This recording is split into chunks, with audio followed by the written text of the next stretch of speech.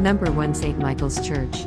A UNESCO World Heritage Site, this church was completed in the early 11th century in the Ottonian style, which came before the Romanesque in Germany. The layout is unusual, as the church has two choirs, east and west. Number 2 St. Mary's Cathedral.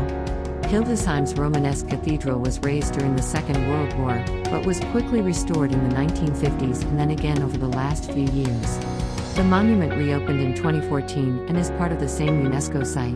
Number 3 Knochenhauer-Amtshaus. The most photographed half timbered house in Hildesheim was first built on the historic marketplace in 1529. This multi story edifice with a big slate clad gable was the old city's Butchers Guild Hall and is replete. Number 4 Historic Marketplace. You wouldn't believe it now, but in the decades after the Second World War, the historic marketplace was surrounded by modern concrete buildings. Only two of its old monuments, the City Hall and the 14th century temple, Number 5 Rathaus. The Gothic City Hall was completed with local sandstone in the second half of the 13th century, putting it among the oldest municipal buildings in the country. The monument took some damage in 1945 and was quickly restored. Number 6 Hildesheim Cathedral Museum.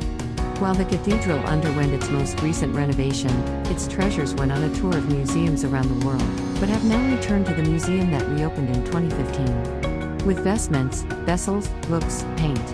Number 7 Romer und Pelizaeus Museum. This Museum of World Cultures was set up back in 1844 and moved into a new building in the year 2000. At the start of the 20th century, the collection was enriched by a donation of Egyptian antiquities by the BAM. Number 8 Half Timbered Houses. Outside the city center, many beautiful half timbered houses came through the war unscathed.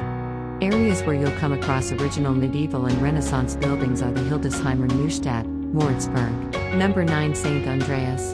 The Church of St. Andreas on the eponymous square has the highest church tower in all of Lower Saxony, rising to 114.5 meters. The building goes back to the 11th century and has a Romanesque westwork that leads into a Gothic. Number 10 Umgestülpter Zuckerhut. In the northeast corner of Andreasplatz, across from the church is another adorable half timbered monument.